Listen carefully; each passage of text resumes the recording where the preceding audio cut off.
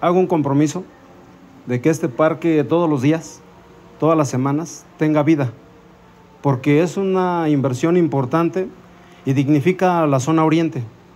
La comunidad más habitada de toda esta región, la Lázaro Cárdenas, que se divide en primera, segunda y tercera sección, que debe de albergar más de 350 mil habitantes.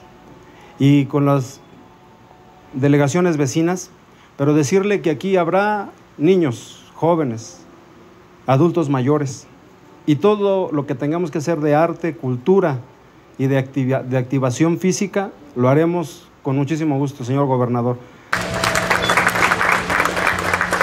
Hemos venido con, frecuencia al municipio de Tlalnepantla y nos da eh, mucho gusto.